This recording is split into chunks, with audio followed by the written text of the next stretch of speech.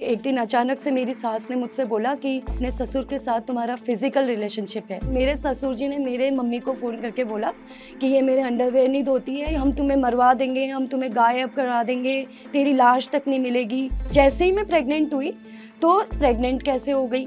और ये बच्चा किसका है? मेरे खुद के भाइयों के ऊपर एलिगेशन लगाया गया कि मेरे खुद के रियल भाइयों से मेरा चक्कर है। बस हो गया मेरा। मुझे ऐसा लगता था कि मैं नहीं झेल पाऊँगी इसको अब। मेरे हस्बैंड ने मुझे सेवन्थ मंथ की प्रेगनेंसी पे मेरे स्पाइन पे इतनी ज़ोर की लात मारी और मेरे बाल खींचते हुए वो मुझे नमस्कार, मेरा नाम है सपना टमटा और मैं उत्तराखंड के मिनी कश्मीर पिथौरागढ़ से हूँ। तो आज मैं आपको अपनी जर्नी बताती हूँ जो कि एक विधवा से शुरू हुई दूसरी शादी से डिवोर्सी तक की जर्नी है। तो मैं आपको बता दूँ कि मेरी स्कूलिंग पिथौरागढ़ से ही हुई है ट्वेल्थ तक और 2006 में ट्वेल्थ कंप्लीट होने के बाद मैं दिल्ली आई थी और मैंने यहाँ से एयर हॉस्टेस एकेडमी से कोर्स किया, उसके बाद मैंने ग्रेजुएशन करी और 2009 में मैं अपने फ़र्स्ट हस्बैंड से दिसंबर में मिली थी और हमारा 2013 तक एक बहुत ही अच्छा रिलेशनशिप रहा है जो कि हमारा गोल्डन एरा जिसको मैं बोल सकती हूँ मेरे लाइफ का और ऐसा फ़ेज़ शायद मेरी लाइफ में कभी दोबारा नहीं आएगा। और 2013 में सबने सबकी सहमति से हम दोनों ने शादी करी और हमारी शादी बहुत ही ब्यूटीफुल रही है। बट अनफॉर्चुनेटली 2014 में Uh, मेरी बड़ी दीदी और मेरे कज़न की शादी थी तो हम उत्तराखंड आए थे और क्योंकि हमें उसके बाद यूके जाना था शिफ्ट होना था परमानेंटली तो हमने सोचा कि लास्ट टाइम है और सबसे मिलते हुए जाते हैं। तो हम आ गए और दिसंबर फिफ्टीन में uh, को हमने uh, एक स्नोफॉल हुआ था पिथौरागढ़ में तो हम सारे के सारे कज़न्स पूरी फैमिली हम घूमने के लिए गए और उस दिन का दिन बहुत ही अच्छा था क्योंकि हम सारे लोग एक साथ थे, बहुत ही अच्छा फैमिली टाइम चल रहा था। लेकिन अनफॉर्चुनेटली एक कार एक्सीडेंट में मैंने अपने फ़र्स्ट हस्बैंड शैलेश आर्या उनको और मेरा कज़न अंशुल उनको खो दिया और हमें समझ में ही नहीं आया कि एक साथ दो कैजुअलिटी हो गई घर में, मेरी बुआ का वो इकलौता लड़का था और मेरे लिए तो जैसे मेरी पूरी दुनिया ही ख़त्म हो गई थी क्योंकि मैं उस समय बहुत छोटी भी थी, मैं सिर्फ़ और सिर्फ़ ट्वेंटी फोर ईयर्स की थी और मैंने कभी लाइफ में एक्सपेक्ट नहीं किया था कि ट्वेंटी फोर ईयर्स में जहाँ लोग अपना करियर चूज़ करते हैं, वहाँ मैं विधवा हो जाऊँगी। इसी नाम से मुझे बुलाया गया और बहुत टाइम तक मुझे इसी नाम से लोगों ने जज भी किया है। मैं बिल्कुल, मुझे अच्छा नहीं लगता था उनके बिना और ऐसा लगता था जैसे मेरे अंदर का जो जो वो लड़की थी जिसका नाम सपना था वो अब नहीं रही, वो भी मर गई है उसी इंसिडेंट में।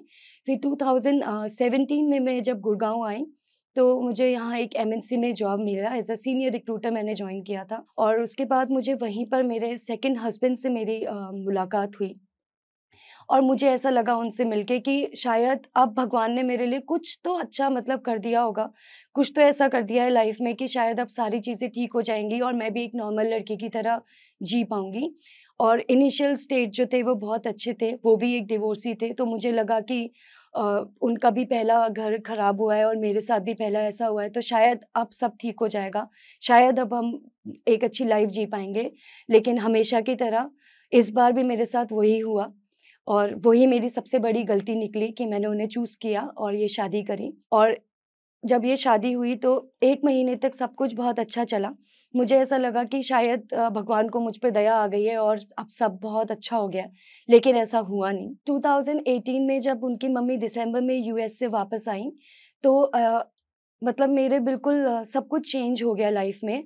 और मुझे कभी नहीं पता था कि मेरे साथ भी ऐसा हो सकता है। मतलब हम ये सारी चीज़ें सिर्फ़ स्क्रीन पे देखते हैं या सीरियल्स पे देखते हैं और मुझे ऐसा नहीं पता था कि ये चीज़ें मेरे लाइफ में भी रियल में होता है ये चीज़ें मुझे नहीं पता था। पर जैसे ही वो आई उन्होंने आते ही मुझे आ, क्योंकि मैं लोअर कास्ट को बिलोंग करती हूँ मैं एक एससी कम्युनिटी को बिलोंग करती हूँ। तो उन्होंने मुझे आते ही ये सब शुरू कर दिया कि तुम ये मत किया करो, तुम मंदिर में मत जाया करो, तुम ऐसा मत करो, ऐसे मत उठो, ऐसे मत बैठो। मुझे लगा कि नॉर्मल है, थोड़े दिनों के बाद वो ठीक हो जाएँगी, मैं अपना बॉन्ड उनसे ठीक कर लूँगी पर कभी ठीक कुछ हुआ ही नहीं।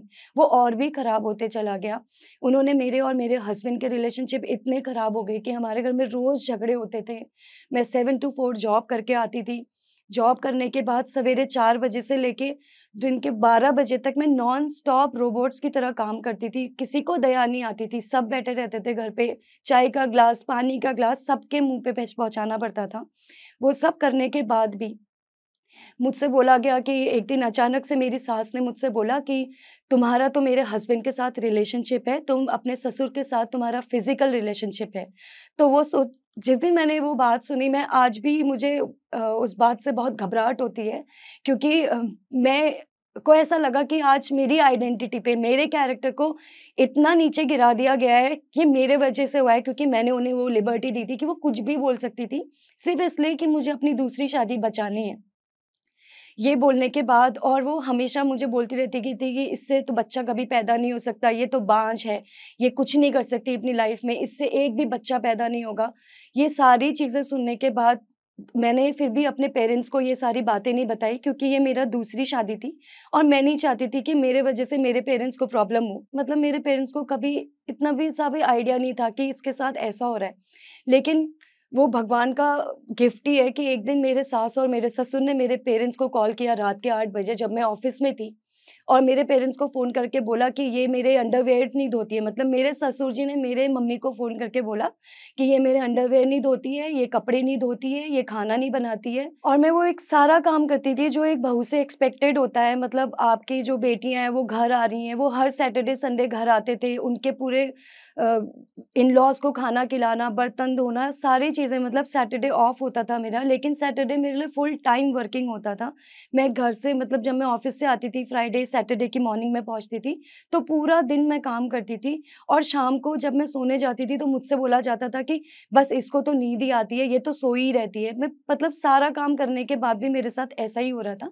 और मैं बहुत परेशान हो गई थी। तो जब मेरे पेरेंट्स को कॉल किया तो मेरे पेरेंट्स ने मुझे कॉल किया। मैं ऑफ़िस में बैठी थी। मुझे आज भी याद है कि मेरे मम्मी ने मुझे बोला था कि ये क्या चल रहा है और तूने हमें क्यों नहीं बताया?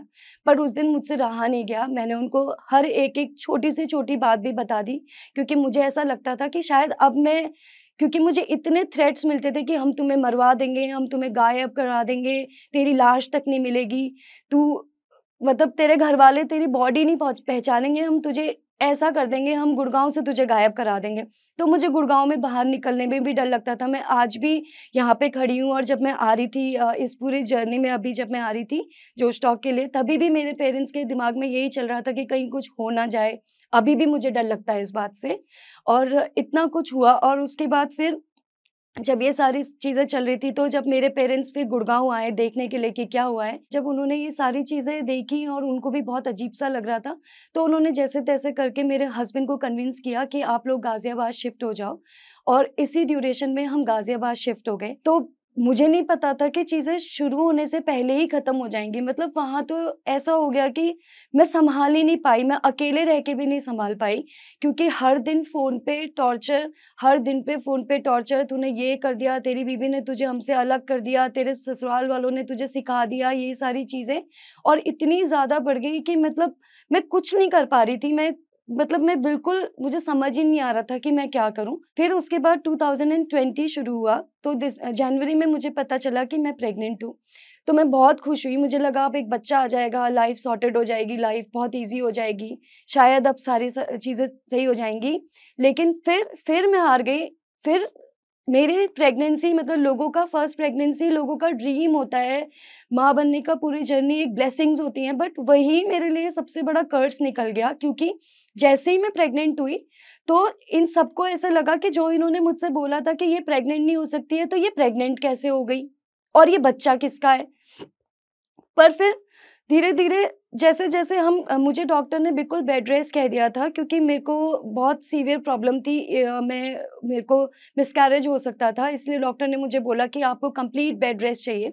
तो मैं तीन महीने का मुझे बेड रेस्ट सजेस्ट हुआ था। मैं तीन महीने तक बेड रेस्ट पे थी कंप्लीट लेकिन उसमें भी प्रॉब्लम थी कि काम नहीं करती है, कुछ नहीं करती है। इसका दुनिया में पहली बार ही बच्चा हो रहा है क्या? पूरे ब्रह्मांड का बच्चा यही पैदा करने वाली है क्या? इसको हो क्या गया है? ये तो पूरा दिन लेटी रहती है। हमारी बेटियों के भी बच्चे हुए हैं। उन्होंने तो कभी ऐसा नौटंकी नहीं किया। ये सब करके फिर वही शुरू हो गया।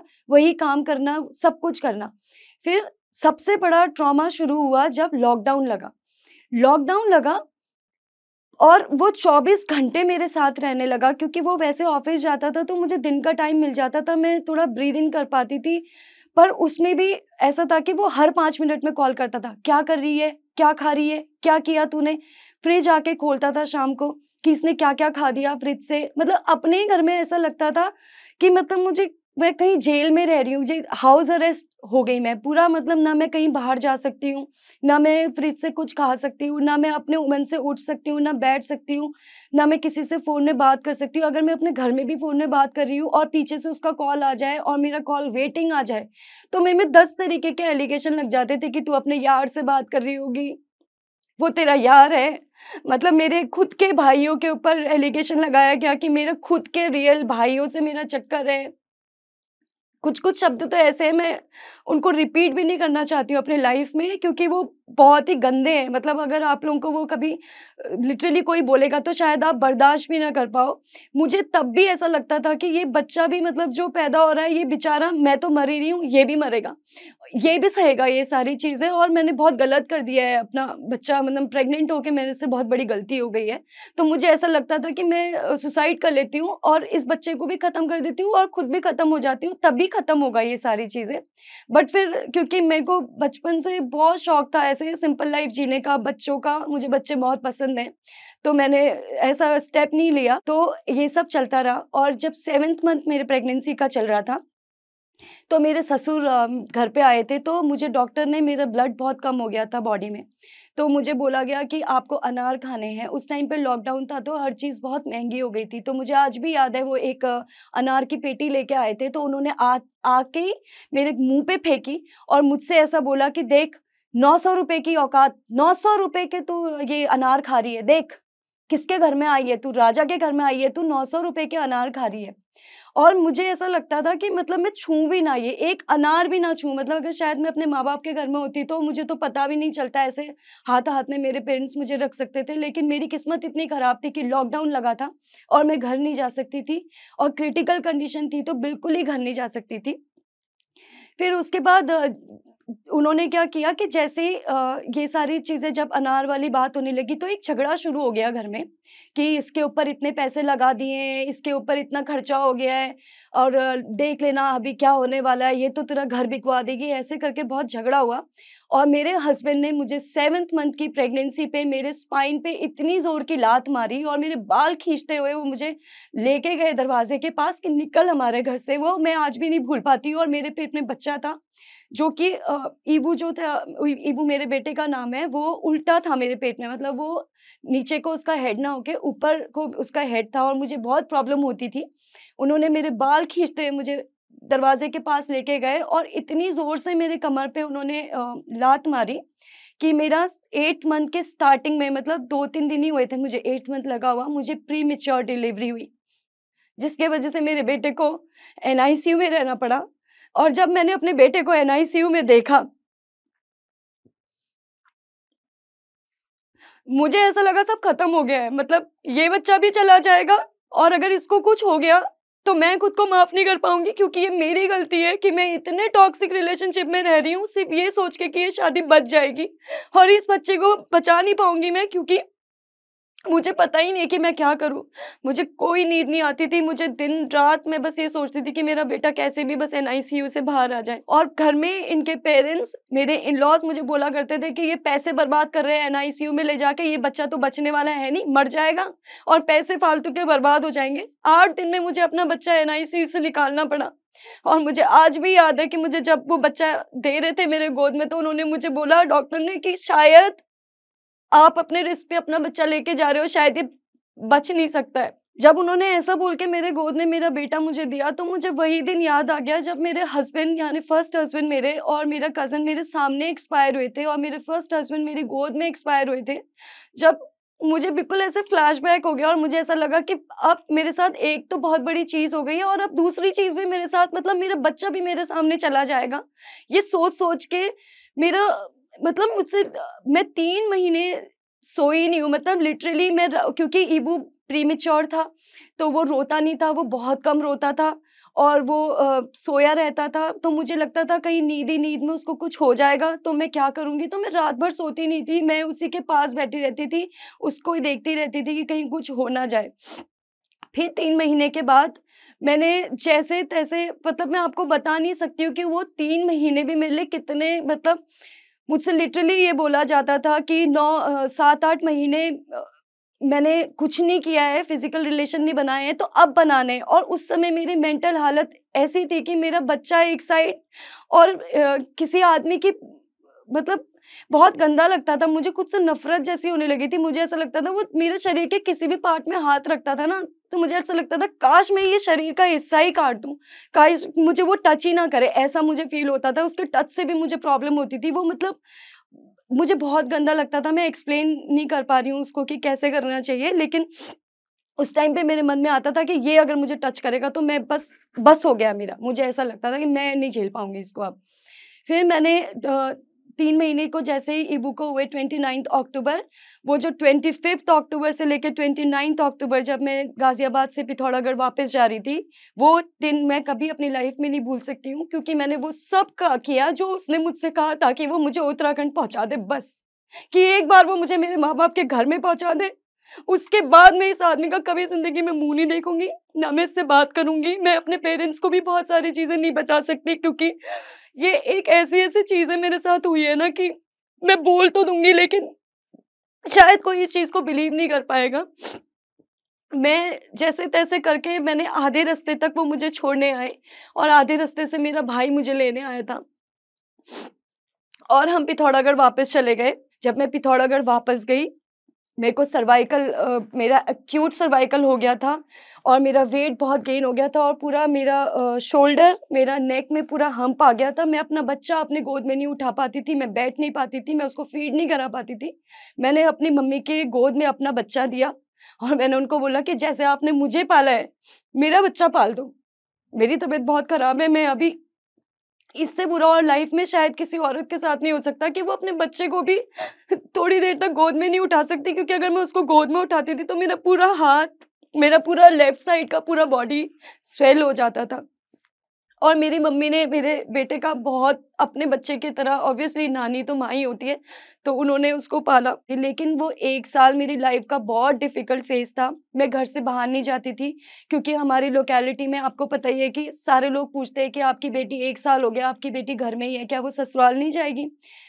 मैं आज आप सबको इस मन से बताना चाहती हूँ कि अगर आप एक बार विधवा हो जाते हो ना, तो लोग आपको हमेशा विधवा ही समझते हैं। मुझसे कहा गया कि ये पहला पति तो खा गई, मार दिया।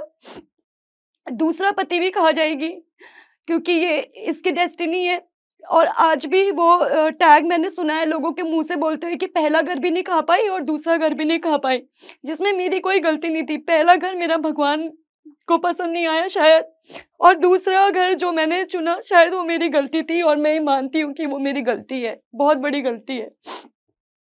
पर मैंने बहुत कोशिश करी है अपनी लाइफ़ में वो रिश्ता निभाने की और हाँ, अब मैंने अपने आप को इतना स्ट्रॉन्ग कर लिया है कि मैं उस रिलेशन में बिल्कुल भी वापस नहीं जाना चाहती हूँ, ना मैं रहना चाहती हूँ ऐसे आदमी के साथ। जब मैं पिथौरागढ़ में ही रह रही थी, तो रोज़ कॉल आते थे और अजीब-अजीब से कॉल आते थे मतलब रात के 11 बजे, रात के 12 बजे, एक बजे, दो बजे, कभी दिन में, कभी शाम को, तो मैंने उनको ब्लॉक कर दिया था, मैं उनके फ़ोन नहीं उठाती थी।